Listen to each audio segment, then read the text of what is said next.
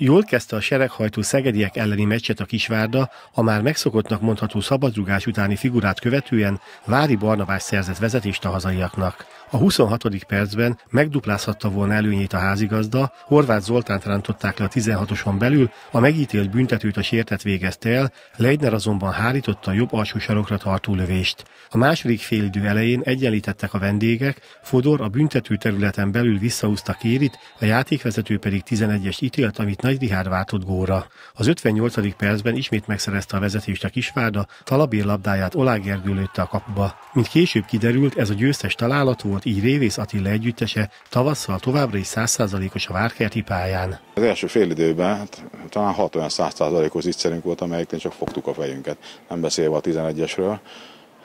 És hát a második fél időben, ahogy szokott lenni ilyenkor, az ellenfél azt megbüntette, ugye, és egy, egy kósz előrével is után mi támadtunk, vakon előre rúgták a labdát, és a Feri butasága miatt egy 11-es után sikerült kiegyenlíteni.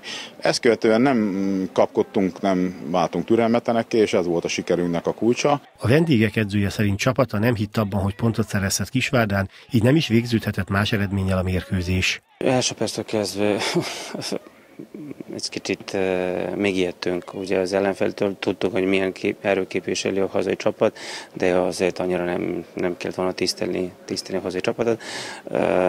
Rengeteg gólhelyzet kialakított, mondom, a kaposunk uh, jó védett kivétel a 11-es, uh, tulajdonképpen az fél is erről beszélt, az, ha van olyan játékos, aki, aki nem meri, aki nem bátor, nem melleg bátorok, ilyen, ilyen meccsek nincs, nincs mit keresni valapályán.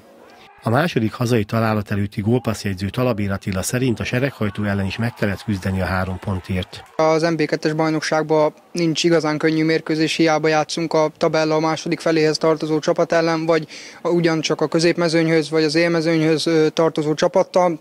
Nincs könnyű mérkőzés.